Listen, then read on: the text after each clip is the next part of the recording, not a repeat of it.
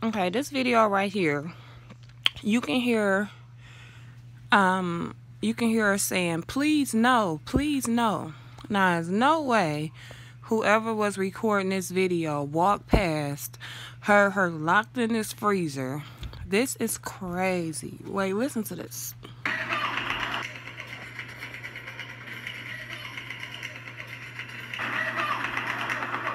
Please help. So yeah, video and there is a person that's yelling in the freezer as this guy is doing a tour making a video.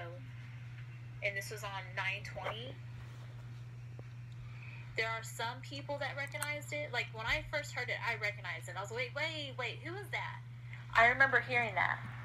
And it's really frustrating because the guy like that's filming he's not even like he's not like he didn't hear it you know and this it, it is upsetting like okay it's awesome that he made that video okay? And you know so he can do you know show people the different entryways but like it's not like it's annoying because people in general it's like they're so like you know focused on whatever they're doing that they're not recognizing stuff like that.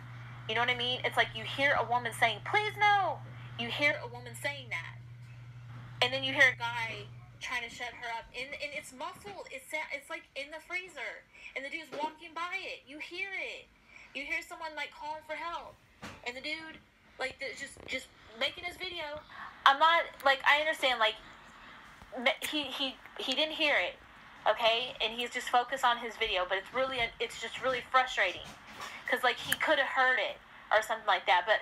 Even then, like I don't even know what he would have done. If, you like, know he heard are, it. Like, really Imagine if that was you locked in a freezer. You hear somebody walking by. You asking them to help you. Won't nobody help you. We're not paying attention. We need to all freaking wake mm, up. Mm, mm. Like no matter where we're at, if something looks weird, we need to observe it, and we need to like figure out like how to handle shit. Like whenever we're in a situation like that.